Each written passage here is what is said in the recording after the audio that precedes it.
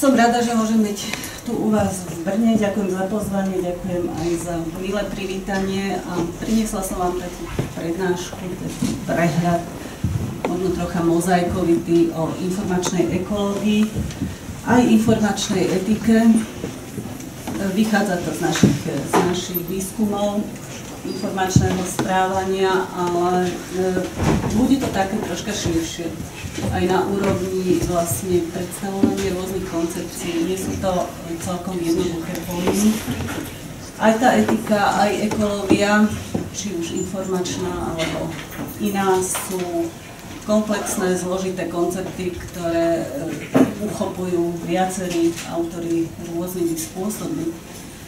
Takže by som rada predstavila niekoľko takých prístupov, z ktorých sa vždy vychádza, keď sa o týchto komplexných e, štruktúrach a komplexných konceptoch rozpráva.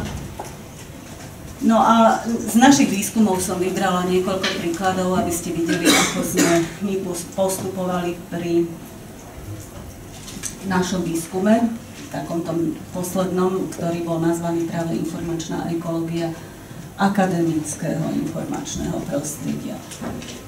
Vlastne kontext informačnej ekológie vychádza z e, tradičných ekologických e, teórií, ktoré vidia svet e, určitej rozmanitosti druhov, ktoré sa navzájom niekde stretajú v nejakom prostredí, či je to celá planéta, ktorá môže byť ohrozená nejakými negatívnymi vplyvmi, alebo či je to celá, či je to určitá scenéria spoločensko-prírodná, kde e, hľadáme nejaký zmysel. Takže vlastne z tohto e, kontextu vyplynuli aj určité problémy súvisiace s informačnou spoločnosťou, ktoré e, informačnú vedu postihujú v súčasnosti na tej najširšej úrovni. Ide o vpad technológií, ide o prenikanie infosféry e, do vlastne e, súkromia, ide o budovanie informačnej alebo znalostnej spoločnosti, Ide o to, ako sa vlastne informačný proces organizuje v celej spoločnosti. A v tej súvislosti si mnohí autori všimli, že máme to informačné prostredie v súčasnosti nejako znečistené. Môžeme ho mať znečistené na úrovni kvalitatívnej aj kvantitatívnej. Často mnohí hovoria, že je znečistené kvantitatívne nezmyselnými informáciami, mediálnym balastom, množstvom informácií informačnou explóziou. Iní zase hovoria, že mnoho informácií je nekvalitných, že sú nevhodné, že sú neorganizované a neuveriteľné a že tu teda zohráva úlohu veľkú práve informačných profesionálov, za, za, vychádzajúci z tradičných knižničných a informačných profesí. Na tejto báze vzniká koncept informačnej ekológie. Treba povedať, že nevznikol celkom e, v, e, v tradícii informačnej vedy, ale prichádza k nám z iných odborov, o ktorých budeme hovoriť a vlastne je postavený na tých analógiách e, ekológie tradičnej. Čiže na analógii s, s životným prostredím, s evolúciou živých systémov, s tým, ako sa spôsobujú, adaptujú prostrediu. Môžu to byť systémy samozrejme živé, ale aj umelé, napríklad informačné systémy. A často sa v tom prostredí na tejto úrovni odhalujú nejaké chyby, skúmame, ako sa navzájom vlastne tie druhy učia a či vedia spolupracovať, alebo či sa či si konkurujú, ako riešia problémy, ako sa zachováva nejaká rovnováha, udržiava sa tá, tá to prostredie celé. Z hľadiska informačnej ekológie je mnoho faktorov, ktoré ju ovplyvňujú a práve treba povedať, že my sme sa k nej dostali cez informačné správanie ľudí, založené na určitých hodnotách, ale prirodzene to informačné prostredie tvoria aj informačné zdroje, informačné technológie, informačné produkty, informačné systémy a informačné inštitúcie vo veľkej miere sú poháňacím motorom práve tie technológie. Keby sme mali vymedziť informačnú ekológiu, tak je to určitý interdisciplinárny odbor, ktorý sa zaoberá komplexom vzťahov medzi ľuďmi, informačným prostredím, vrátane teda informačných technológií a problémami, ale aj určitými nástrojmi, ktoré môžeme používať pri využívaní informácií, či už jednotlivcov, komunitou, komunitou alebo organizáciou. Informačná ekológia teda je analogiou nejakých ekologických prístupov k prostrediu v tom zmysle, že sa snaží nájsť určitý zmysel alebo že smeruje k cieľu e, harmonickému cieľu využitia informácií, nájdenia zmyslu v informačnom prostredí, k riadeniu informačného prostredia a tiež niektorí hovoria o tých adaptáciách aj vo svojich modeloch o prispôsobovaní sa človeka informačnému prostrediu a zároveň aj informačnému prostrediu alebo aj technológií človeku. Ten proces je interaktívny alebo smerný. A, sú, a, a základní autory práve z, toho, z tých konc, koncom 80 rokov, ktorí sa týmto zaoberajú, či už je to Rafael Capuro, filozof, alebo autory z oblasti manažmentu, Davenport, Prusak a ostatní.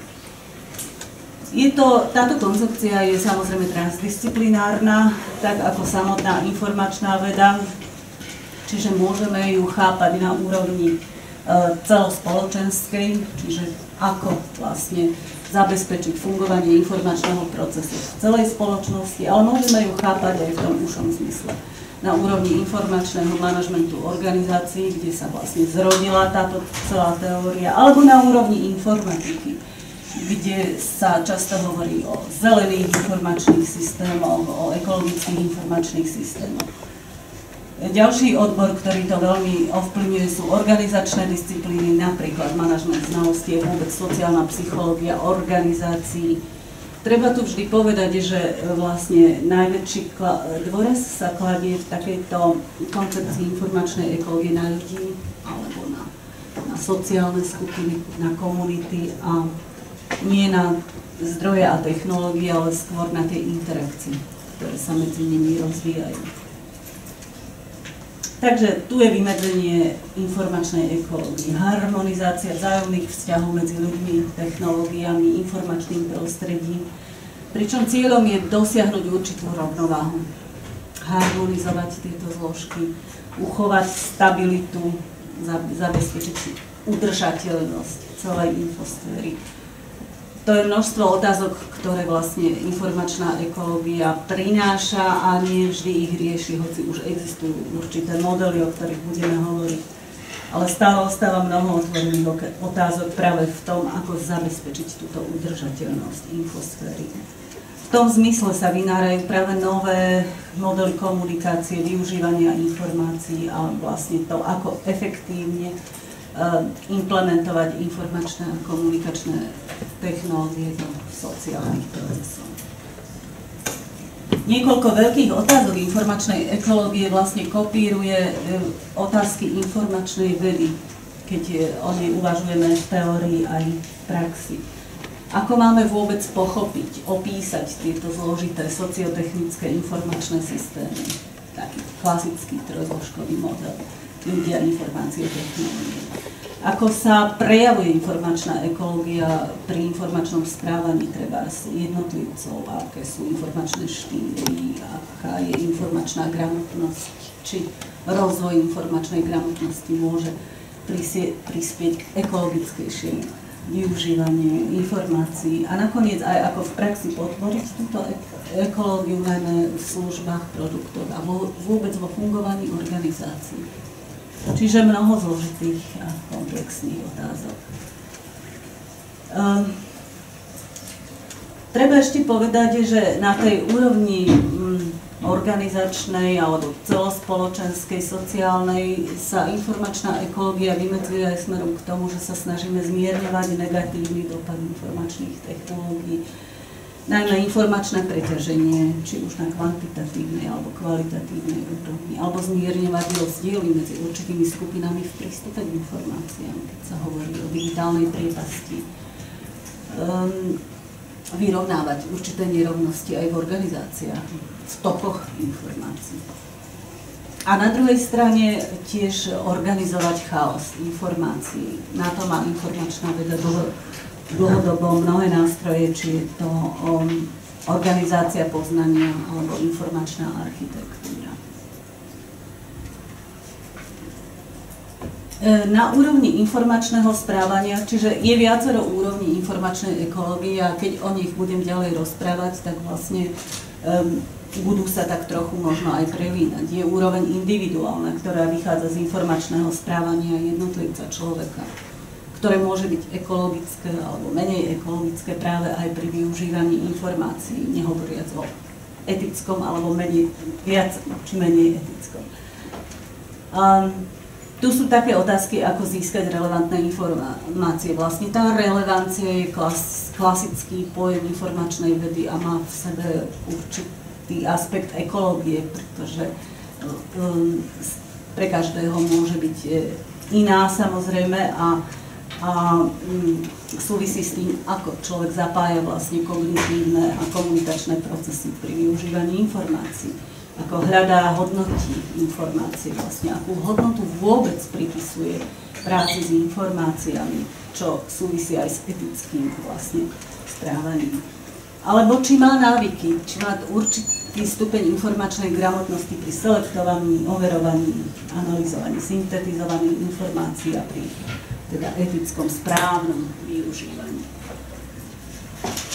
Takisto môžeme na, na individuálnej úrovni uvažovať o tom, či teda človek má určité potešenie pri spracovaní a využívaní informácií, alebo či je zavalený množstvom a nechá sa preťažiť. Ako, ako zvláda informačné preťaženie, informačný stres. Na druhej strane e, toho spektra faktorov, ktoré ovplyvňujú informačnú ekológiu, je teda elektronické prostredie a to všetko, čo môžeme robiť s technológiami, ktoré nám pridávajú hodnotu vlastne pri využívaní informácií, digitálnych informácií. Vieme, že v súčasnosti hovoríme o generácii digitálnych domorodcov zhruba od toho roku 93, niektorí hovoria o Google generácii alebo o množstve iných typov generácií, ktorí sa narodili do, do digitálneho sveta, do digitálneho informačného prostredia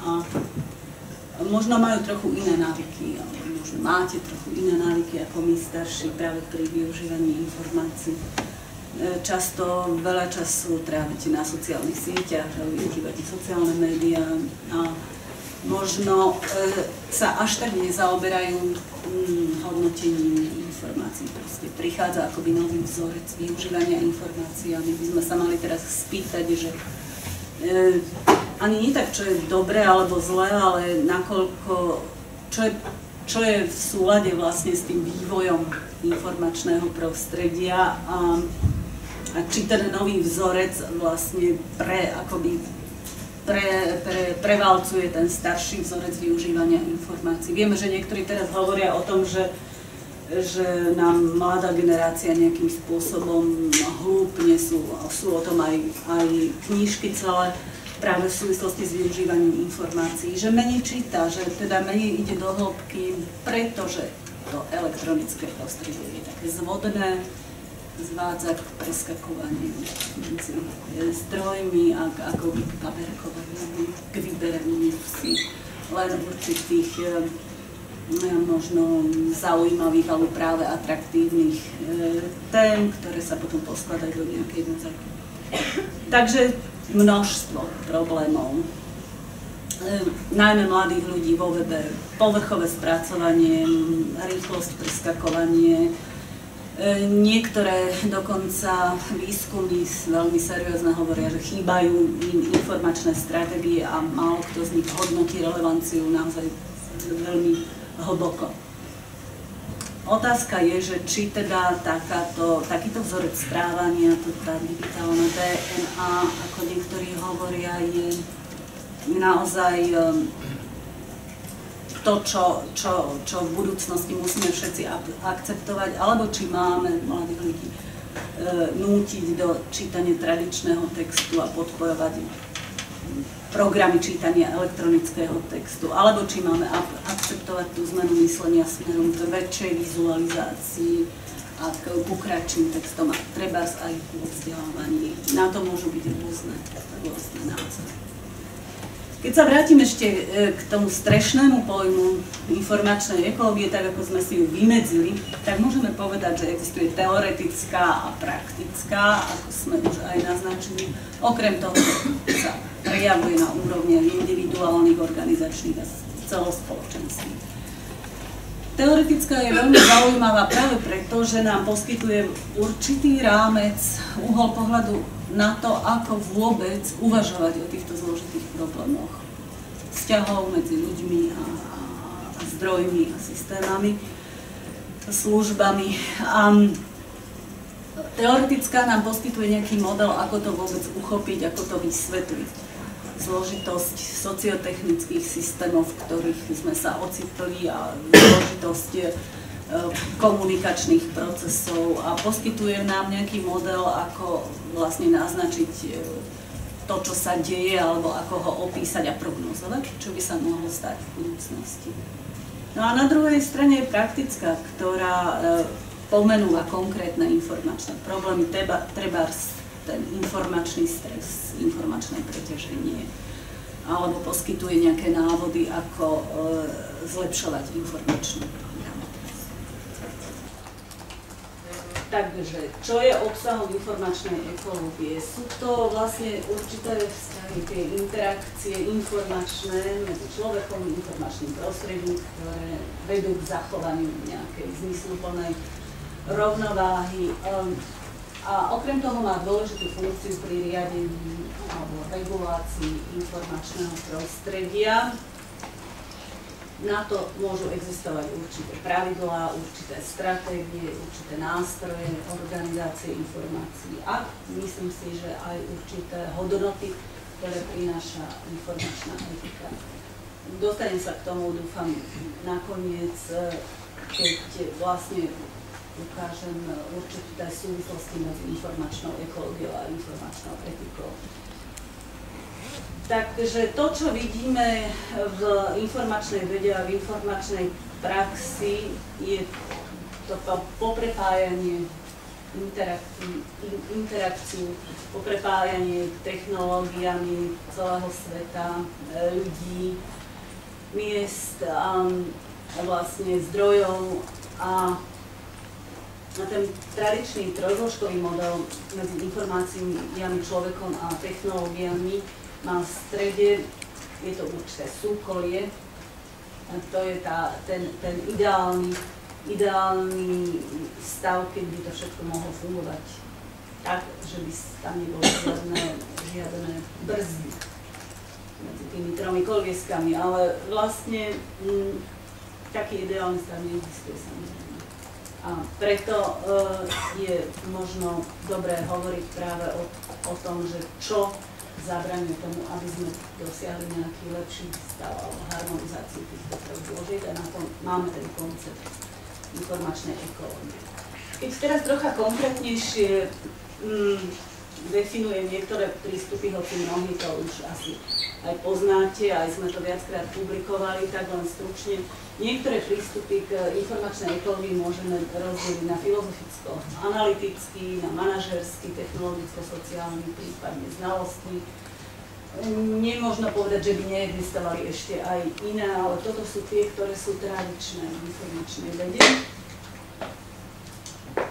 A filozoficko-analytický no, v informačnej vede predstavujú dvaja neznámni filozofi, autory, jednak Rafael Capuro, ktorý už v roku 89 uh, uvažoval a publikoval určité teoretické publikácie o informačnej ekológii z hľadiska toho, aké, aká je rovnováha myslenia a konania pri využívaní informácií v takomto celospoločenskom význame. Hovoril alebo použil koncepciu informačnej krajiny vlastne, tak ako môžeme uvažovať o krajine v prírodných systémoch, ale nazva, našiel v nej určité rozmery sociálne, historické a lingvistické. A naznačil, že vlastne informačná etika, ekológia by mala harmonizovať tieto dimenzie spracovania informácií, myslenia a konania, informačného správania, aj smerom k ochrane informačného prostredia, aj smerom k, k určitému čisteniu informačného znečistenia. Je zaujímavé, že uvažuje o informačnom znečistení na úrovni mocenskej alebo politickej, ale aj na úrovni komunikačnej, historickej, aj na úrovni toho digitálneho rozdelenia, keď teda e, naozaj sú krajiny, ktoré nemajú vôbec prístup k technológiám a a tým pádom sú, sú mnohí obyvateľia informačne chudobní a vlastne um, akoby uh, vylúčení z toho progresívneho prúdu komunikácie. Takisto uvažoval o nekompatibilnosti e, takýchto systémov informačných a na individuálnej úrovni napríklad e, prišiel s tým pojmom informačnej hygieny Čiže ako sa má jednotlivec brániť pred tým, aby ho e, niekto nezahotil množstvom nevhodných a nekvalitných informácií. Čo už súvisí s určitými kognitívnymi e, procesmi.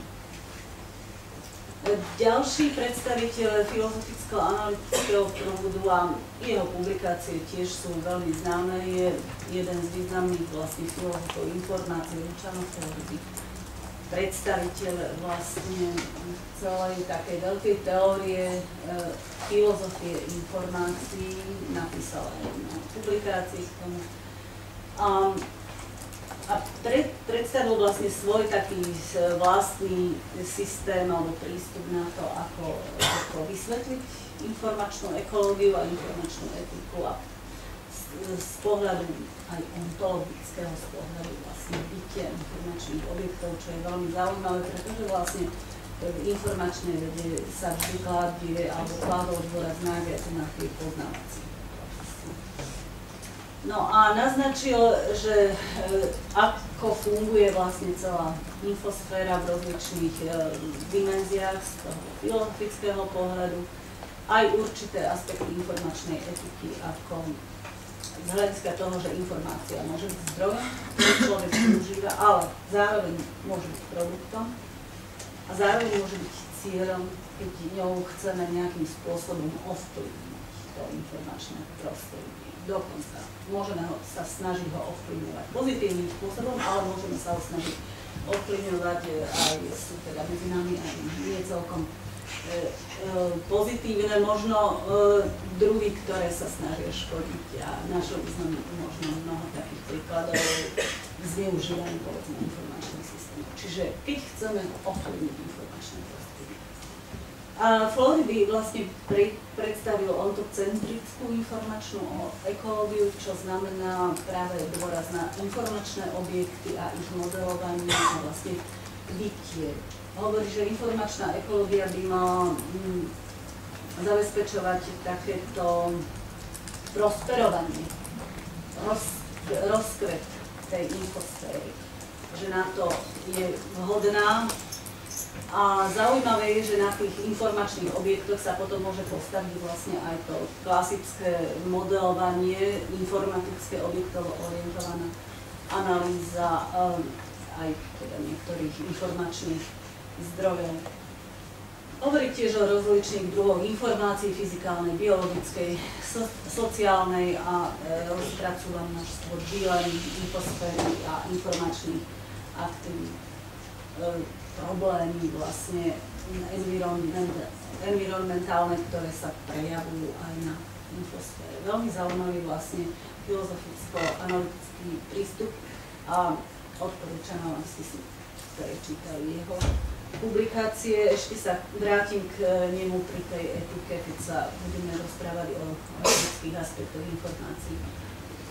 Ďalší prístup je ten informačný manažment. Toto je vlastne taký najtradičnejší možno prístup, e, ktorý rozpracovali autory z oblasti manažmentu, Thomas Davenport Larry z manažmentu organizácie, z manažmentu znalostí v organizáciách.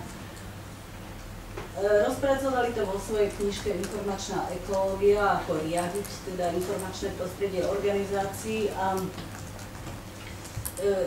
tiež sa opírajú o mnoho výskumov vo veľkých medzinárodných firmách alebo v konzultačných firmách, ktoré robili. Tvrdia, že to, čo by malo posunúť organizácie ďalej aj smerom teda k zabezpečovaniu e, lepších produktov, služieb, zisku, sú práve ľudia, a teda vzťahy medzi ľuďmi a medzi komunitami a procesmi a na to sa teda sústredím. Hovoria, že je potrebné, alebo naznačujú práve v tej informačnej ekológii novší model ako riadenia informačného prostredia, aj organizácie, aj na úrovni jednotlivca. Východiskom je teda človek a rozličné kontexty a jeho informačné správanie mm, a naznačujú, ktoré nástroje sú to naj, najdôležitejšie pri, v organizácii. Informačné stratégie, informačná politika, kultúra, personál, alebo teda vlastne um, zamestnanci, informačná architektúra, informačná procesy. Takto vyzerajú tie tieto modely. Na jednej strane vlastne obrazok, ktorý ukazuje, ako útočia informácie zo všetkých možných zdrojov na toho človeka a na jeho osobné informačné prostredie. Na druhej strane vlastne určité nástroje, ktoré organizácia na to má, na úrovni vonkajšej, vnútornej a teda na, na úrovni toho informačného prostredia, rozpracujú každú z týchto kategórií veľ, veľmi podrobne. Uh, hovoria, že najdôležitejšie je zbaviť sa vlastne, alebo to, ako, ako, ako sa komunikuje v organizácii, uh, ako sa komunikujú informácie, ako sa, ako sa určitým spôsobom zbavuje tá komunikácia dvojznačnosti alebo nadbytočnosti vo, vo význame. A aké sú stratégie na to, aby teda tak, ten komunikačný proces bol zmysluplnejší a viedol k nejakému zmysluplnému cieľu a fungovaniu celej organizácie. Takže to je na úrovni organizácia pracujú s rozličnými modelmi. Ešte naznačujú niekoľko takých vlastností informačnej ekológie, ktoré práve vychádzajú aj z, z tradičných ekologických teórií, čiže diverzita, rôznorodosť druhov v organizácii, alebo napríklad teda rôzne pracovné pozície, premenlivosť alebo evolúcia celej organizácie, čiže prispôsobovanie sa zmenám zákazníkom, treba s požiadavkám alebo zmenám trhu, čo súvisí s, s rozličnými mar, aj marketingovými prieskumami, možno alebo komplexita, čiže tá sociotechnická zložitosť. Keď sa zavedie nový systém informačný do organizácie, čo sa stane? Niektoré funkcie sa možno, možno premenia, alebo niektoré organizačné informačné procesy sa, sa, sa e, prispôsobia. Tá sociotechnická zložitosť vlastne vždy funguje a nie vždy je to povedzme v prospech e, zamestnancov. Alebo užitkovosť, hej, že, že ako vlastne e, povedzme manažment e, najlepšie vie vysvetliť cieľ dlhodobý organizácie. No a z tohto pohľadu vlastne je informačná ekológia u nich interpretovaná ako ten dobrý manažment a optimalizácia informačného prostredia organizácie, kde má dominovať e, dobrá komunikácia, čiže delenie sa o informácie, information sharing, či už teda na úrovni fyzické, komunikačnej alebo elektronické, a že má ísť aj o, o to, to dvoj, odstraňovanie dvojznačnosti rozličnými nástrojmi. A tu tiež treba povedať, že samozrejme, že aj táto teória, tak ako tie filozofické, ktoré nie sú až tak praktické z hľadiska informačnej ekológie, aj táto má určitý nedostatky napríklad v tom, že je naozaj napísaná z pozície manažerskej. Čiže ako by manažeri, tí, ktorí sú, e, sú top manažeri, mali, mali alebo vedeli najlepšie, ako tú organizáciu viesť a riadiť, ako zaviesť tú informačnú ekológiu. Pritom často sa tie najlepšie zmeny a nápady a kreativita nachádza práve v niekedy v mysle ľudí možno na tej najnižšej úrovni riadenia. Takže, ale toto je taký naozaj klasický, klasický prístup informačnej ekológie. Ďalší a ako reprezentatívny som nazvala technologicko-sociálny, ktorý viac vychádza z možno zo sociálnej informatiky. E, z toho, ako sa technológie a informácie prejavujú v pracovných procesoch, ale nie je tak úzko ohraničený len na e, inštitúcie alebo organizácie, ale e, vidno, vidno ho na rôznych miestach. Či je to knižnica, či je to nemocnica, alebo kopierovacia služba, tam, kde sa stretne človek s technológiou a niečo sa deje. E, autorkami sú e, profesorky informatiky Nardiová a Vicky Odejová, ktoré hovoria, napísali teda celú knižku a tá, ten obrázok tej, tej džungle, tej divočiny, ktorý, sa, ktorý som naznačila na začiatku, to je vlastne z obálky ich e, knihy, reprodukcia Paula Claire, rôznorodosť druhov. Čiže hovoria, že vlastne tá informačná ekológie, používajú možné číslo informačné ekológie, že to je systém ľudí, takých hodnot a technológií, dosť dôležité vlastne ten hodnotový systém, že e, celý ten systém ekológií, že takto vznikajú tieto ekológie na rôznych miestach a že e, dávajú ho do pohybu práve ľudia, ktoré majú, ktorí majú vplyv na rozličné funkcie systémov a vlastne tým sa podporujú rozličné sociálne procesy. Čo je zaujímavé, hovoria aj to, že kľúčovými druhmi v týchto procesoch by mali byť alebo by mohli byť knihovníci, pretože tí majú svoju tradíciu systematického organizovania informácií a prístupu k vlastným informačnému prostriedku.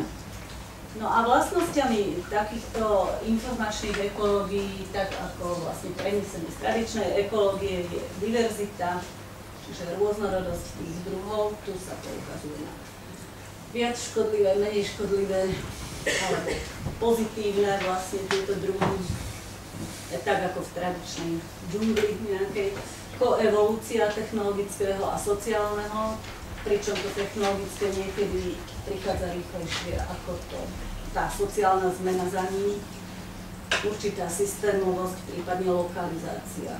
Sa to vyskytuje na v rôznych miestach, ale že je to veľmi podobné, či je to jednotka intenzívnej starostlivosti, alebo v nemocnici, alebo teda knižnici. E, tento prístup tiež naznačuje, že nie všetky tie vzťahy, tie interakcie medzi týmito zložkami z hľadiska informačno-ekologického sú harmonické, ale že sa často ob, ob, objavujú aj disharmonické vzťahy, čiže nejaké narušenie, zámerné narušenie toho, tej harmonie informačného prostredia organizácii alebo na nejakom mieste že niektoré ekológie sú celkom nefunkčné, pretože zložky sú nevyvážené. A príkladom môže byť práve to, keď sa treba v organizácii alebo na nejakom mieste zavedie technológia bez toho, aby sa oboznámili s ňou ľudia alebo aby sa prispôsobili tie sociálno-komunikačné procesy ich požiadavkám. Takže potom tam vlastne e, E, dochádza k akejsi disproporcii medzi tým, že technológia je, je, je tým, čo riadi tých ľudí. My sa musíme prispôsobovať tomu systému, hoci vieme, že niektoré jeho funkcie nedávajú celkom zmysel. Samozrejme, že ste to všetci určite zažili s rozličnými typmi systémov že to rozhranie nám nemusí vyhovovať tak, ako si ho predstavujú. Povedzme, pre, predstavovali programátori, ktorí ho takto naprogramovali. To nie je pre nás celkom prirodzené písať treba z kľúčové slova alebo dokonca nejaké, nejaké zložité bulovské operátory použiť a podobne. Takže niekedy sa môže stať, že dôjde k nevyváženosti zložiek a, a vlastne informačnej ekológie. V tomto zmysle majú za cieľ nejakým spôsobom na to poukázať a harmonizovať technológie znovu s dôrazom na knihovníkov, Existuje mnoho ďalších prístupov. Jeden z nich je znalostná ekológia týchto dvoch autorov, ktoré, ktorý, ktorá tiež pochádza z toho manažerského prostredia, ale pozerá sa na organizácie ako na komplexné systémy, ktoré sa prispôsobujú prostrediu a zdôrazňujú skôr e, ten, taký ten kolektívny rozmer, čo je celkom zaujímavé, ako sa vlastne v organizácii alebo v skupine niektorých komunitách sociálna nejaká navzájom mm, cez výmenu informácií, cez dialog, cez diskusiu vlastne buduje poznatok alebo buduje nejaká múdrosť celej organizácie. A že máme inteligentné technológie, ktoré nám to umožňujú zaznamenávať a znovu využiť. Čo je vlastne e, základný ekologický princíp práce s informáciami. V tomto zmysle si môžeme povedať, že vlastne aj knižnica, princíp požičovania dokumentov je vždy e, ekologický, alebo bola od začiatku vlastne e, ekologickým nástrojom človeka, keďže sa tie knihy, ktoré sa požičiavali, by znovu využívali u rôznych ľudí, v rôznych, e, v rôznych prostrediach. Takže vlastne princíp knižnice sa takto často ako prenáša do, do rozličných fungovaní súčasných systémov, aj do tvorby sociálnych sietí, diskusných skupín, komunita, že tam môžu vznikať inovácie vlastne, nové poznatky, keď sa tá komunikácia vydarí a v nejakom kontexte vlastne niečo vznikne nové, pozitívne samozrejme. Tak v tomto zmysle sa vlastne môž, môžeme hovoriť o znalostnom manažmente, o, o, o vytváraní nových poznatkov prostredníctvom e, nových technológií na základe sociálneho sieťovania a zase adaptácie. Celá skupina, celá komunita, komunita aj komunikácia sa môže adaptovať môže kooperovať, ale samozrejme môže aj konkurovať potom ďalším skupinám a že tam vzniká nejaká diferenciácia a nové a nové znalosti. Takže toto je znalostná ekológia. E, je tu niekoľko takýchto prístupov k informačnej ekológii, nie sú všetky. Napríklad je mnoho, mnoho veľmi zaujímavých, niektoré vám ešte ukážem, e, publikácií aj príspevkov z oblasti kognitívnych vied, ktoré hovoria o ekologii alebo o, ekologic, o, o ekologických princípoch kreativity človeka, čo sú veľmi zaujímavé vlastne aspekty, čo sa dajú využiť aj v našom, alebo v rámci teda informačnej vedy. E, Treba tiež povedať, že vlastne informačná ekológia je aj určitým takým teoretickým a výskumným rámcom a že sa teda mnohé výskumy alebo tie teórie, o ktorých som hovorila, nevznikajú len tak od stola, ale že sa často objavujú ako výsledok eh, empirických výskumov. Či sa robia výskumy manažerov vo, veľkých firmách, alebo sa skúmajú študenti a ich informačné správanie, alebo sa robia e, rozličné kvalitatívne metódy, napríklad nejaké pološtruktúrované rozhovory a podobne.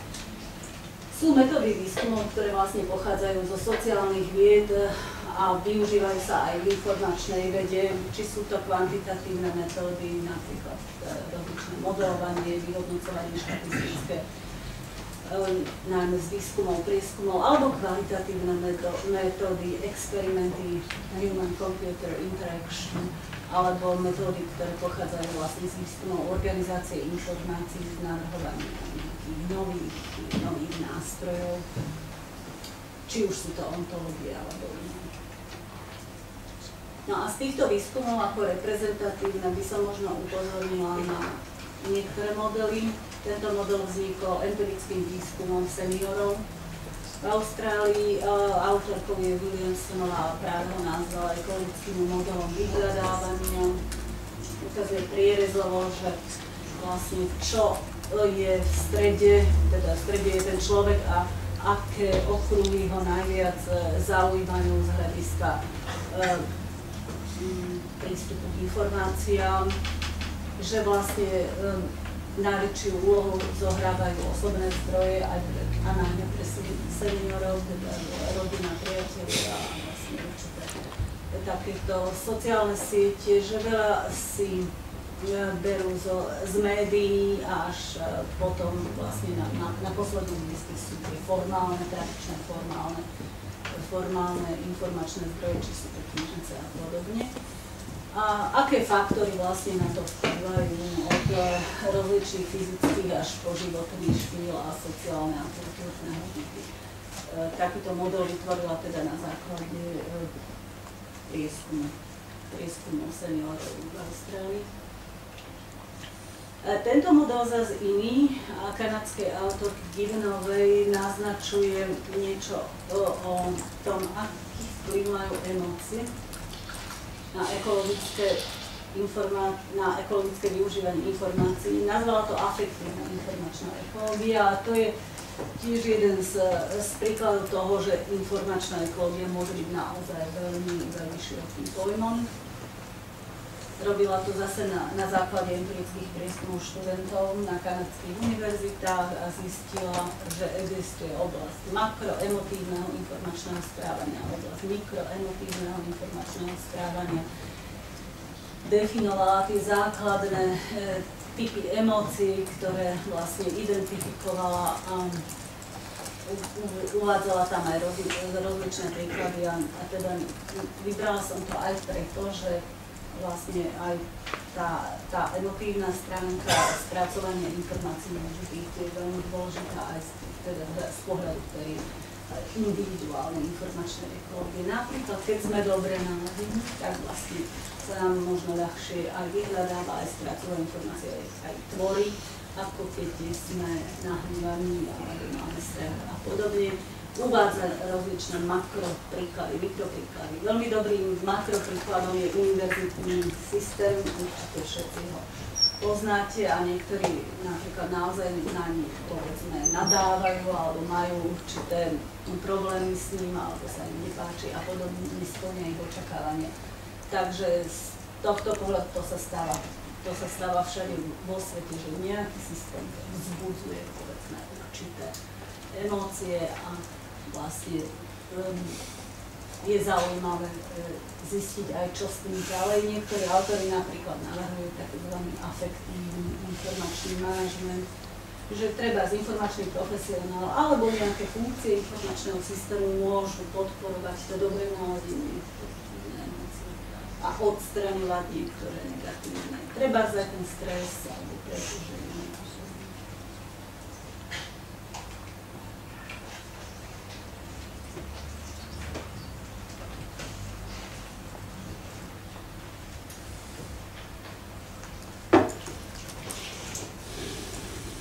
No ďalej by ešte pristavila pri niektorých našich, e, pri niektorých príkladoch, ktoré môžu ovplyvniť vlastne ekologický informačné prostredie a pri niektorých príkladoch našich, z našich výskumov.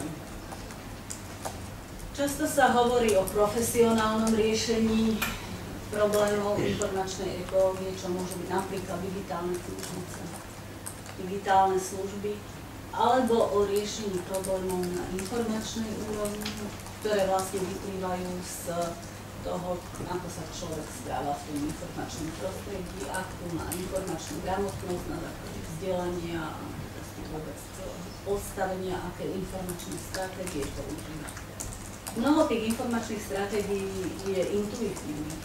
To znamená, že tak ako v priebehu vlastne vývoja sa vyvíjame a rastieme a učíme sa, od malého dieťaťa až po študenta alebo seniora, tak sa nám aj vyvíja, povedzme, tá, tá informač, informačná stratégia. Tie, ktoré boli úspešné, si zapamätáme, vlastne takto sa učíme a vlastne získávame tú informačnú gramotnosť, môžeme v rámci toho vlastne mať určitý hodnotový systém, či už explicitný alebo implicitný, sú, ktorý súvisí práve s tým etickým využívaním informácií a informačnou etikou. Keď sa pozrieme na tie profesionálne nástroje, tak vlastne digitálna knižnica alebo nejaké repozitáre môžu podporovať informačnú ekológiu rozličnými, rozličnými funkciami a aj ich podporujú vlastne. Už sme o tom čiastočne aj publikovali niekoľko takých e, článkov, ako aj, aj práca, aké ekologické funkcie majú digitálne knižnice, že môžu organizovať poznanie novými nástrojmi, že môžu mm,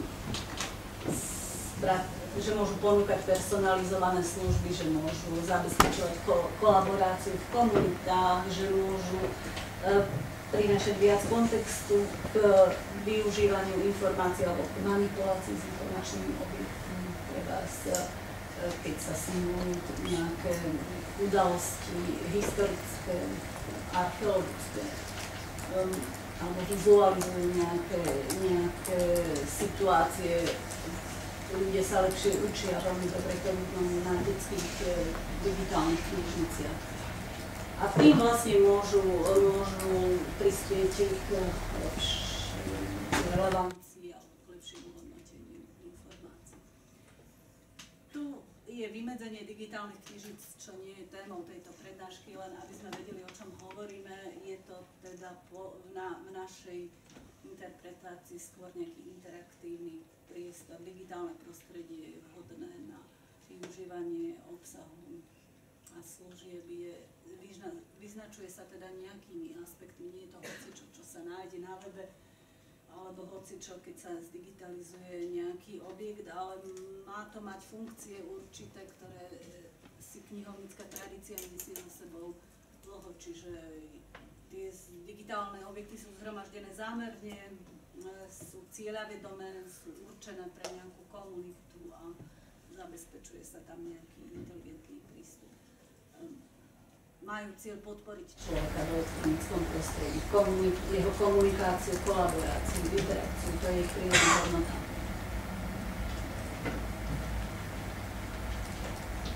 A tak by sme mohli vlastne ešte podrobnejšie hovoriť o ekologických prvkoch digitálnych knižníc na rozličných úrovniach a o nových službách s Ale to by som možno teraz vynechala a keď ste mali potom otázky, môžeme sa k tomu vrátiť. Ale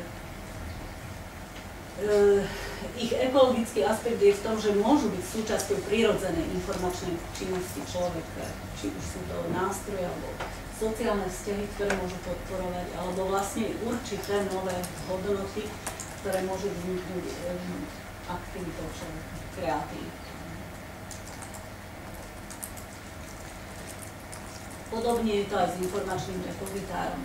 Niekedy sa možno um, tieto pôdy prelínajú s digitálnou knižnicou a tu je jeho definícia práve preto, že budem ešte o tom hovoriť my sme robili taký prieskum akademického informačného prostredia na Slovensku e, práve aj v súvislosti s takýmito akademickými digitálnymi repozitármi na univerzitách. Čo, čo by malo byť srdcom vlastne akejkoľvek teda informačnej ekológie, kde sa vytvára nejaký priestor na spoluprácu. Ale aj na niečo viac ako len tradičné knižničné procesy prístupy, aj na bohatšie kontexty, komunikáciu, anotáciu, spoločné hodnotenie, vizualizáciu. Zase by sme mohli povedať, že takéto repozitáry majú množstvo ekologických vlastností, charakteristík, či sú to tie kontexty, alebo určité nové produkty, služby s pridanou hodnotou možno jedna z tých najvýznamnejších a najviditeľnejších vlastností e, takýchto systémov je práve vizualizácia. A toto je napríklad jeden z našich modelov. Tá kocka, ktorý sme nazvali ako dimenzie informačnej ekológie na teoretickej úrovni, kde sme identifikovali rozmer správania, rozmer semantiky, práve teda toho obsahu tej komunikácie a rozmer vizuálny, ktorý ktorý priamo nadvezuje na, na kognitívne procesy a nejakým spôsobom e, zlepšuje učenie, zlepšuje komunikovanie, zlepšuje vzájomné pochopenie ľudí.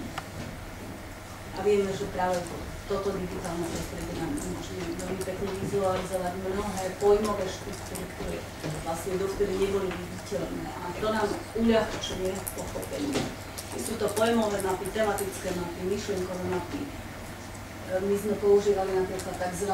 informačné horizonty ako výskumný nástroj, čo sa používa ako metodológia informačnej vedy, alebo je celkom zaujímavá nová metodológia, kde si študenti kreslia e, na takých kartičkách, vymyslela to autorka Čena Hartlová, ako sa vlastne tie, ako, ako si vizualizujú vlastne informáciu zase dá sa s tým veľmi kreatívne potom pracovať. Čiže vizualizácia nám umožní zviditeľniť obsahy, ktoré doteraz aj skryté, implicitné povinky, ktoré doteraz možno e, neboli, neboli viditeľné v tom množstve digitálnych objektov a znižovať tým kognitív záťaž pochopenie zmyslu. To sú niektoré príklady. Takže Mekitego alebo Atlas Vericový, vizuálny a tak ďalej určite mnohé poznáte. Do tej vizualizácie som zaradila aj citačné. Citačné mapy, napríklad citačná mapa na článku, publikovaného v roku 2005 z rôznych aspektov. Pretože sa dá veľmi dobre vykresliť, kto koho teda citoval, aké dve ďalšie generácie vlastne citácií z toho, z toho vznikajú a to je vlastne celá akoby príklad nového alebo veľmi zaujímavého aspektu informačnej webometrii 3 a informácie. Už som spomínala tie deti. Tak sa pozrime, že čo, toto je teda stránka Medzinárodnej knižnice pre digitálne pre deti. Veľmi zaujímavý e, projekt, možno, že už tá stránka vyzerá teraz inak, ale mm, naznačuje alebo vychádza z výskumov informačného správania detí a ekologicky prispôsobuje vlastne ten obsah detskému, detskému používateľovi. Kladie dôraz na emócie, na tú vizuálnu stránku, na prácu s obrázkami, ale aj na možnosť vlastne určitej hry práve pri vzdelávaní a pri, pri využívaní rôznych, rôznych zdrojov. Takže ak by sme to takto nejako široko chceli naznačiť, informačná ekológia sa môže aplikovať na rôznych úrovniach, či už na úrovni vyhľadávania alebo informačných stratégií človeka, alebo na úrovni vývoja informačnej gramotnosti, či pri informačnom zabezpečovaní vzdelávania a výskumu tiež na úrovni organizácií a na úrovni rozličných modelov až po celospoločenskú úroveň. Teraz by som sa, uh, neviem koľko mám času, ale aspoň stručne priblížila. Ak by ste mali nejaké otázky, tak uh, môžete ma tu prerušiť. Ale ešte by som sa chcela dostať k tej informačnej etike ktorú považujem za vlastne akoby súčasť aj informačnej ekológie. Zase teda, tak trochu vymedzenie a niekoľko prístupov k informačnej etike, v informačnej vede. Už ako sám názov hovorí, informačná etika v informačnej vede vlastne už existuje približne 20 rokov, alebo takých 80 rokov sa, sa rozvinula, trochu viac. E, zaoberá sa hodnotovými aspektmi využívania informačných zdrojov, spracovania informačných produktov, produktov a je zase aplikáciou všeobecnej filozofickej etiky do oblasti informačného prostredia. Čiže niektorí hovoria, že je to taký typ informačného správania tvorcov, používateľov, profesionálov rôznych rolí, ktorý je založený, ktorý uprednostňuje nejaký systém hodnot pri rozhodovaní, riešení problémov. A zase môže byť teoretická, aplikovaná, môže byť meta, etika môže byť normatívna etika, deskriptívna, ktorá opisuje ten stav, alebo normatívna, ktorá predpisuje nejaké, nejaké riešenia, dokonca teda zákonom v oblasti e, intelektuálneho vlastníctva, autorského práva, slobodného prístupu k informácii, ochrany súkromia a identity a podobne. Mnoho autorov v informačnej vede, ktorí sledujú túto problematiku a zaoberajú sa ňou. Napríklad e, profesorka Karbová, Tony Karbo z, z University of Pittsburgh, ktorá hovorí aj vlastne dlhé roky vyučovala, aj má takú stránku e, venovanú práve informačnej etike, že je to umenie aj veda, ktorá prináša určitú citlivosť pri aplikovaní e, v informačných aktivitách. Možno práve citlivosť je to správne slovo, pretože niekto môže byť naozaj senzitívnejší k určitým e, aspektom e, spracovania, využívania informácií, to je vyslovene individuálne, ale zase sú určité normy alebo pravidlá, ktoré môžu platiť alebo platia v určitých komunitách. Netreba zabudnúť aj na to, že, že často sú tam aj interkultúrne rozdiely. V jednej komunite môže byť niečo etické, etickejšie, v druhej sa to nepovažuje za neetické a podobne. Um, určujúcim faktorom je zase správanie človeka a tak sme sa vlastne k tomu aj cez tú informačnú ekológiu dostali. Mm, sú aj ďalší autory, už som spomínala Floridyho z hľadiska filozofie informácie, Frolida, Falisa a ďalší. Sú aj mnohé iné univerzity, napríklad Kent State, ktorá veľmi dobrú tradíciu, ne, nejaké časopisy, International Review of Information Ethics, Journal of Information Ethics a tak ďalej. Na tej individuálnej, zase môžeme informačnú etiku vidieť na tých rôznych úrovniach e, informácií, na, na takých rôznych vrstvách, či je to individuálna, skupinová, e, spoločenská, celospoločenská, alebo aj organizačná. A na tej individuálnej to môžeme vidieť ako súčasť informačnej gramotnosti, informačného správania, čiže zodpovedné využívanie informácií, ako som sa naučila alebo naučil v priebehu vzdelávania od materskej školy až po, po vysokú, e, zodpovedne využívať informácie, či ma niekto niekedy upozornil, že vlastne e, sú nejaké konvencie alebo dokonca zákony na to, ako narábať s tými informáciami, najmä v tom elektronickom prostredí. Na tej celospoločenskej úrovni sa tiež hovorí o informačnej etike v rozličných, eh, v rozličných komunitách, teda západná filozofia, mocenské štruktúry alebo nejaké iné, iné typy organizácie spoločnosti, kde ešte často bojujú ľudia o dostupnosť vôbec k technológiám a k informáciám. A neho, potom vlastne tie aspekty etiky sú trocha zatlačené do úzadia. Súvisí informačná etika podľa Kapura práve s normami správania, čiže to, ako sa človek správa pri využívaní informácií a s hodnotovým systémom,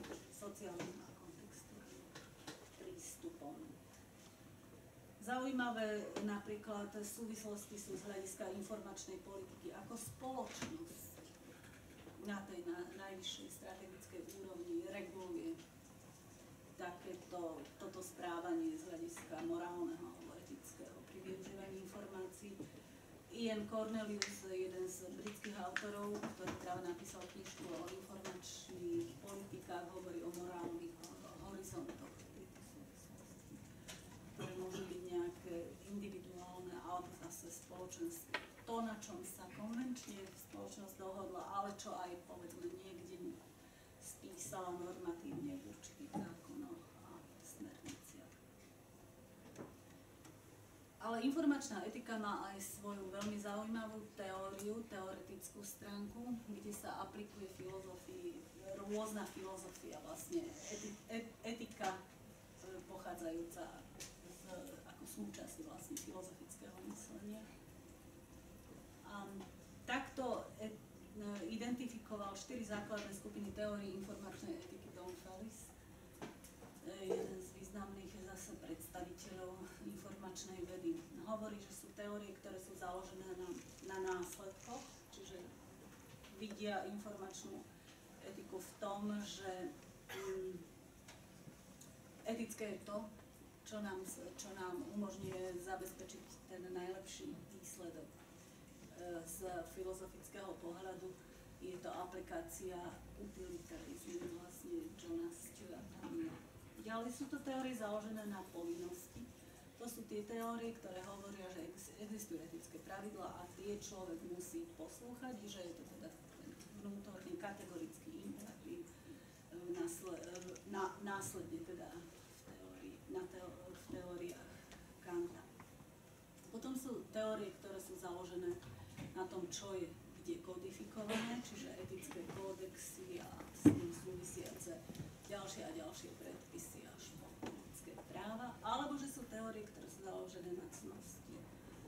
Čiže, že niekde existuje vlastne princíp vo výchove, povedzme, cnostného človeka, ktorý by mal konať dobro svojím spôsobom. Často som v súvislosti aj s niektorými náboženskými e, teóriami, e, ktorý by mal podporovať pokoj, česť, priateľstvo a niekde sú aj takéto vlastne ideálne predstavy informačného profesionála, informačnej služby alebo toho stewarda, navigátora v informačnom prostredí. Vrátim sa ešte na chvíľu ku koncepcii Lučana Floridyho, ktorý vychádza z tej filozofie informácií. A dosť sa zaoberá informačnou etikou ako súčasťou filozofie informácií. Naozaj je to jedna z najvýznamnejších teórií informácií, filozofie informácií v informačnej vede. Hovorí, že informačná etika by mala byť eh, súčasťou akejsi novej environmentálnej etiky. Hovorí, že práve informačné a komunikačné technológie nás doviedli do takej situácie, kde sú dôležité určité morálne hodnoty, ktorým by sme mali venovať viac pozornosti pri ich využívaní. Často práve v tých rýchlych aplikáciách, v informačných systémoch, v sociálnych sieťach sa na to zabúda, alebo sa, je to vypuklejšie, keď sa tam objavuje tak určité negatívne, e, správanie. No a Floridy vlastne v tej svojej teórii okrem iného pri, približuje situáciu, kde je sociálny aktér, ktorý využíva informácie v prostredí, v tom prípade informácia funguje ako informačný zdroj, ale zároveň vytvára iné informácie, čo nám veľmi ľahko umožňuje internet a webové prostredie, čiže informácie sa stáva produktom a zároveň tým ovplyvňuje informačné prostredie, informácia sa stáva cieľom, komunikuje, keď ju niekde vystaví a podobne. E, takto sa vlastne e, buduje taký, taký vlastne trojzložkový model tejto informačnej etiky a zase sa hľadajú nástroje, ako zabezpečiť, aby tento model dobre fungoval v organizáciách alebo v komunitách a aby zabezpečil nejaké ekologické riadenie informačného prostredia, či už cez systémy služby alebo organizácie informácií. Keď si zoberieme etiku informácií ako zdroja, takže to je situácia, keď človek využíva informácie. A keďže v, tom, v tej západnej vlastne kultúre má naozaj neobmedzenú možnosť, keď má technológia, má internetu, dostupnosti k zdrojom, tak e, vlastne mm, ide o to, že ako zna, na, naloží s týmto potenciálom obrovským, keď využíva informácie ako zdroj. Ako ochráni alebo zabezpečí anonymitu, alebo ako podporí spravodlivé zaobchádzanie s určitými informáciami alebo nezaujaté po posudzovanie nejakých. Čiže morálne otázky súvisia tu s, s dostupnosťou, presnosťou a s kvalitou informačných, s dôveryhodnou informačných zdrojov a takisto vlastne s tým, kto má prístup k akým zdrojom, pretože vlastne v tomto zmysle často akoby technológovia alebo informační technici majú moc nad ostatnými keď môžu nejakým spôsobom manipulovať to informačné prostredie, dostup, iný, dostupnosť týchto e, zdrojov pre iných. Na druhej strane je informa- etika informácia ako produktu. Tu som autor, tu som aktér, tu niečo vytváram a mám nejaké príležitosti, zase často technologické, ale často by som mal mať aj určité obmedzenia že určité typy informácií nie sú vhodné na, na, na, na publikovanie, alebo že musím zachovávať vlastne určité pravidlá nielen slušného správania, ale aj vlastne um, toho, ako nemanipulovať s pravdou alebo s tou hodnotou informácií. Čiže množstvo otázok, zodpovednosti, legislatívy, reklamy, propagandy, dezinformácie, či a, alebo aj až plagiatorstva, s ktorým sa stretávame aj vo vzdelávacom procese. A e, nie sa dá regulovať samozrejme zákonmi a pravidlami. A na tej filozofickej a teoretickej úrovni by sme mohli vlastne hovoriť o určitých pragmatických pravidlách komunikácie a vrátiť sa aj k teórii klamstva zase k, k, k kantom. No a potom máme etiku informácií ako cieľa, čiže ako mm, chceme ovplyvniť informačné prostredie. Dobrým príkladom je hackerstvo, čiže keď niekto e, vykoná nejaký neautorizovaný prístup do, do informačného systému, chce tým niečo ovplyvniť, chce tým niečo povedať, buď poukázať v najlepšom prípade, alebo poškodiť. Takže vlastne množstvo nadväzných, nadväzných otázok môže súvisieť s bezpečnosťou, vandalstvom, vlastne vôbec s, s informačnými systémami alebo s pirátstvom z hľadiska využívania elektronických zdrojov, elektronických kníh, s cenzúrou, filtrovaním obsahu, kontrolovaním obsahu ale nakoniec aj s intelektuálnym vlastníctvom. Možno, že keď sa pozrieme do, do, histórie, tak takéto negatívne javy sa často objavovali, alebo sa mohli, sa objavili už v histórii. Treba sa pálenie alebo niečo iné. Čiže to, čo no, môže súvisieť vlastne s nejakým poškodzovaním informačného prostredia. Sú ešte dva prístupy, ktoré, e, roz, ktoré sa rozlišujú aj teoreticky a prakticky informačnej etike, mikroetický a makroetický. Zase skôr na zamyslenie. Ak mikroetický znamená nejaké vlastne informačné správanie, často hovoríme aj o informačnom správaní profesionálov. Existuje množstvo kódexov, ale americká knihovnická asociácia má svoj kódex, je mnoho, IFLA má kódex etický, alebo mnohé veľké organizácie majú etické kódexy pre, pre profesionálov, pre informatikov má ACM má svoje kódexy, ktoré nejakým spôsobom upravujú oprávnené využitie vlastníctva a tak ďalej a tak ďalej. Ale sú aj ďalšie aspekty, ktoré nemusia byť kodifikovateľné, ktoré súvisia s tým, ako vlastne um, sa sa ten životný cyklus informácií v tom informačnom správaní nejako prejavuje. Často je to teda to vlastníctvo informácií, treba z organizácie alebo identita človeka.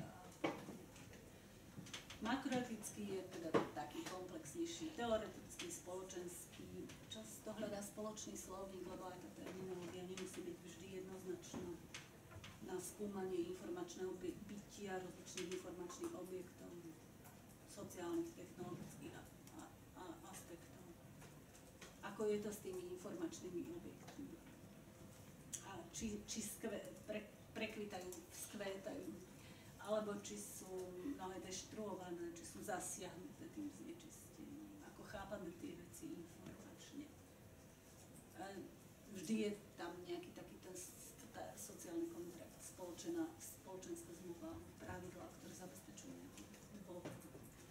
Toto je napríklad model, kto by chcel vedieť viac, tak môže si pozrieť treba z môj článok v knihovne, myslím, že z tohto roka, číslo 2, kde som o informačnej etike takto vlastne prehľadne viac, viac napísala. Aj som urobila takúto taxonómiu určitých vrstiev informačnej etiky na základe informačného procesu. Či už na, z hľadiska získavania informácií, z hľadiska využívania informácií, z hľadiska organizácie poznania, sociálneho sieťovania, aká je ekológia a etika vlastne komunity nejakých. Hľadiska delenia sa o informácií najmä v organizáciách, ako, vytvára, ako sa vytvára tá kolektívna možnosť, prípadne z hľadiska tvorby informácií a z hľadiska vôbec eh, online komunity na tej naj, najnižšej eh, technologickej úrovni bezpečnosti. Čiže toto je tax, moja taxonomia vrstiev informačnej etiky ako základ alebo rámec na, na ďalšie empirické výskumy. A toto je môj model, eh, konceptuálny rámec informačnej etiky, kde som nejakým spôsobom využila viac takých tých trojuholníkov alebo určitý eh, odkaz na semantický trojuholník, na vrchol sú informačné zdroje, kontexty a informačné objekty a informačné pra, praktiky alebo aktivity používateľov. V strede sú hodnoty, pretože hodnoty to je to, čo riadi vlastne celé etické správanie, etické informačné správanie človeka. Sú tam určité procesy reprezentácie, designácie, vyjadrovania a v, tom, v tomto šesťuholníku naznačené tie teórie, o ktorých sme hovorili, že vlastne tak, ako sa opierame o tie hodnoty, tak buď zdôrazňujeme dôsledky, ktoré môže mať naše etické správanie, alebo e, sú tie hodnoty postavené na tých e, povinnostiach, ktoré na tom právnom imperatíve, ktoré môžeme mať, alebo je to na určitých právach, ktoré sú niekde kodifikované kódexom, alebo je to na, na vnútornej cnosti, či pochádza teda z tých teologických teórií. Takže toto je zase konceptuálny rámec, ktorý by bol možno vhodný na teoretické ďalšie rozpracovanie, ale aj empirické využívanie. No a možno teda e, povedať, že informačná etika sa prejavuje v informačnej vede vo filozoficko-sociálnom rámci a rámci. Zase by sme mohli hovoriť o, o tom, že je to aplikovaná e, súčasť všeobecnej etiky, či je to tá teleológia, účelovosti určitých aspektov, alebo teológia, vlastne tie, rozličné aspekty viericnosti, ktoré s tým súvisia, alebo axiológia, rozličné aspekty hodnot, hodnotového systému, utilitarizmus alebo alebo či je to viac systémovo orientovaná záležitosť, súvisí s tým, ako sa technológie prejavujú v kontextoch. Niektorí hovoria o digitálnej etike, o počítačovej etike, zase otázky etické dilema a a tak ďalej.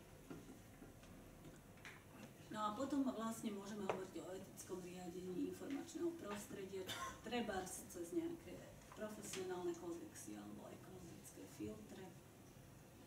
Niektorí, niektorí dokonca uvažujú o tom, potrebujeme nejakú novú informačnú revolúciu, ktorá by bola postavená práve na, na týchto hodnotách v etickom rámci. Pretože doteraz boli často tie hodnoty niekde.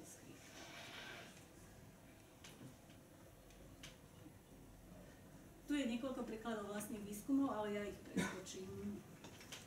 Možno sa pri niektorých potom pristavím. Uh, Možno ešte povedať, že na tej úrovni, keď uvažujeme o e, informačnej etike, môžeme využiť aj takýto model, že existuje teda nejaká metaetika, tá, tá, tá, tá najšir, najširší zmysel, že existuje normatívna etika, ktorá niečo predpisuje, aplikovaná etika v rozličných prostrediach, v rozličných organizáciách.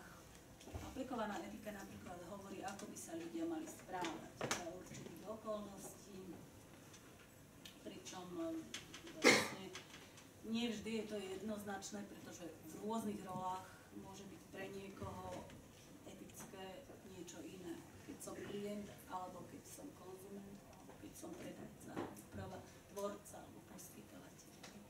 Čiže v tým sa tá situácia často komplikuje, ale preto organizácie aj možno spoločnosti vytvárajú vlastné etické kódexy Zase výsledky vlastných filmom možno preskočím, treba sa sme zistili, že existujú pragmatické a analytické informačné štýly. Z výskumu relevancie sme vytvorili takéto pojmové modely, že na základe čoho ľudia najčastejšie, teda študenti, hodnotia relevanciu, tu vidno treba autor, téma, obsah a tak ďalej.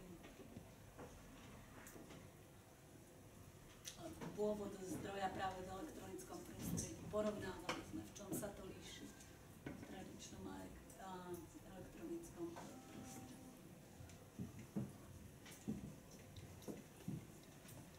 Potom sme napríklad eh, definovali niečo ako relevancia 2.0, kde som to na, nazvala práve ekologická relevancia, tá, ktorá sa viac približuje teda nejakým hodnotovým systémom človeka, viac reálny prístup práve v tom elektronickom prostredí. Som, sme už aj napísali ako aplikačné oblasti informačnej etiky niektoré publikácie súvisiace s ekologickou informačnou gramotnosťou a s ekologickými informačnými stratégiami. A v podstate boli definované na tej úrovni lepšieho kontextu, približovanie sa kognícii človeka. Boli tam identifikované niektoré prvky ekologické v takýchto kategóriách informačnej vedy. No a posledný vlastne príklad je z nášho výskumu informačnej ekológie vlastne akademického informačného prostredia. Ako som povedala, skúmali sme stav budovania tých repozitárov, názory manažerov univerzít a experimenty sme robili s nástrojmi na organizáciu informácií, napríklad sú také model, je to publikované v správe, ktorú tu aj mám. Aj sme zorganizovali konferenciu, aj sme robili teda experiment s mapami pojmov zo záverečných dizertačných a diplomných tematické mapy sme tiež urobili na základe kľúčových slov. A toto je záverečný model informačnej ekológie, ktorý sme urobili v, v rámci výskumu. Čiže trojrozmerný informačné zdroje, technológie, produkty a vlastne čo sa s nimi deje, ako ich ten sociálny aktor v tom prostredí nejakým spôsobom dáva do, do súvislosti ešte bol aj inak modifikovaný z hľadiska e, informačných stratégií a vyhľadávania, kontextového, nových spôsobov vyhľadávania, kolaboratívneho. Tu je niekoľko ďalších riešení, ale o tom nebudeme už hovoriť. Nástroje organizácie informácií, personálny informačný manažment. Mali sme tam veľa odporúčaní, ako budovať pojmovú infraštruktúru a aký je prax informačnej ekológie. Porovnali sme tradičnú knižnicu s informačnou ekológiou.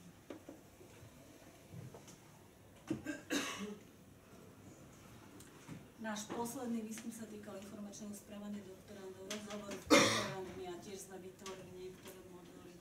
Kreslali informačné horizonty, napríklad takýto mali nakresliť, vlastne to je kvalitatívny výskum. Túto metódu sme teda využili na to, aby sme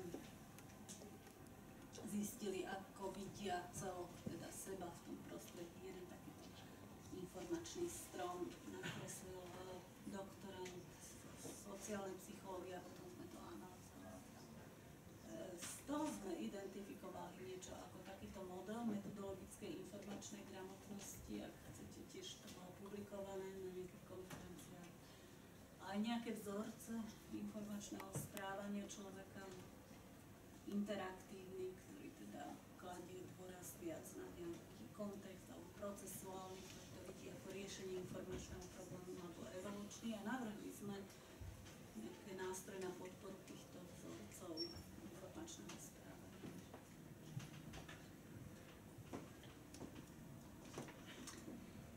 Posledná e, záležitosť, ktorú som chcela povedať, a tým by som asi naozaj už skončila, je to, ako vidím informačnú, e, súvislosti informačnej ekológie a informačnej etiky.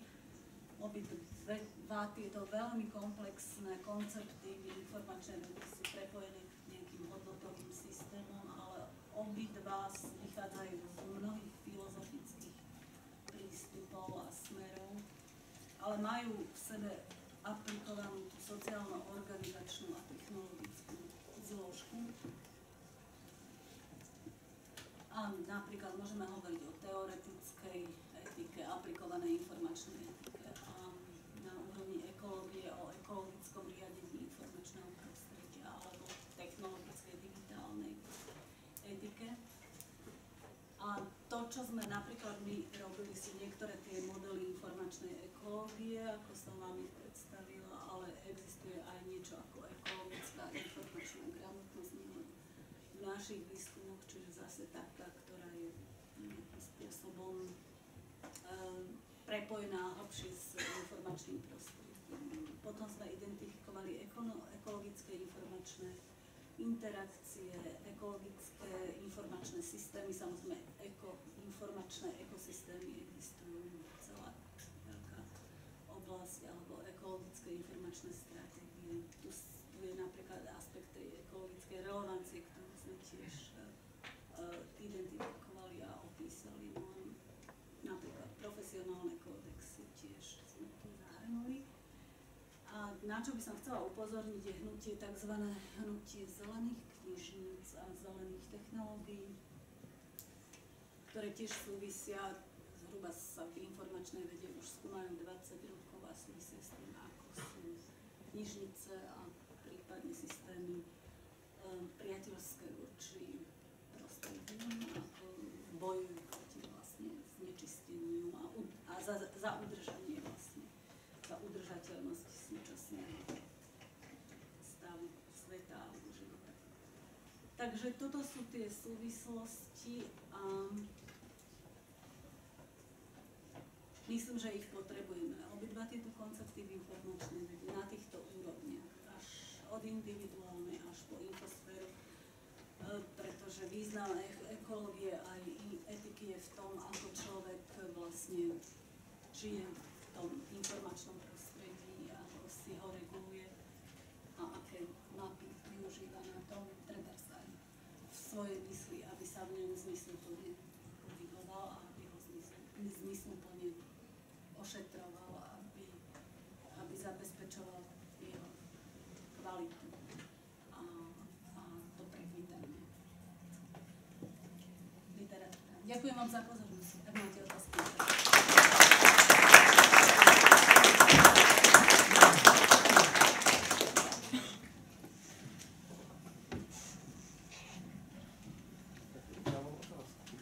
Vy jste mluvila jakoby o aplikaci těch principů informační technologie na individuální organizační úrovni a teď jste mluvila, že to je celospolečenské. A jako já si třeba dovedu představit jakoby tu aplikaci na úrovni té organizace, protože to je relativně jako malý celek. Ale jak to aplikovat jako blíž celospolečenským? politika alebo mm, združenia, asociácie, medzinárodné organizácie. Teraz bola zase veľká globálna konferencia o klimatických zmenách a trvalej udržateľnosti, trvalej udržateľnosti. Tak, asi tak, roz, rozličnými nástrojmi. Um, keď chce byť človek dostatočne praktický a z, teda z pohľadu informačnej vedy by som povedala, že najlepšie je začať od toho informačného správania a informačnej gramotnosti a výchovy detí v rodinách a v školách. Alebo v iných teda komunitách. Musím se zeptat, eh, Ano. vy jste říkala, že zdrojem pro informační etiku můžou být také třeba zákony eh, a nějaká třeba pravidla. Eh, Zákony třeba vytváří stát. Mě zajímalo, eh, eh, do jaké míry se dá třeba eh, zjišťovat, zda se třeba i stát chová eticky ku příkladu v určitých případech, jako dejme tomu veřejné zakázky a další věci. No, to je ten problém, že tu je vlastne, to je vysoko interdisciplína problematika. Hej, môžeme často zistiť, že sa štát nechová eticky, alebo že dokonca tie zákony sú robené, môžeme zistiť tak, že sú nie, nie, nie sú veľmi etické voči tým najjednoduchším občanom, voči tým, ktorí majú dodržiavať. Tak um, nemám na to riešenie, pretože to je celá oblasť práva a ani neviem, že či to celkom patrí do oblasti mm, informačnej etiky, lebo zase sa nám ten ro- odbor tak rozširuje. Ešte by som ostala na úrovni povedzme intelektuálneho vlastníctva, to by som tam zahrnula, alebo ochranu autorských práv, ale to je ešte strašne samé o sebe veľký, veľký problém, plagiátorstva, citačnej etiky. Ale takto nemám proste odpoveď. viem, že e, situácia je taká, aká je a musíme sa nejak asi vyrovnávať. Asi tak. To je skôr len taká poznámka. Podľa mňa to nepatrí do informačnej etiky. Keď, tak.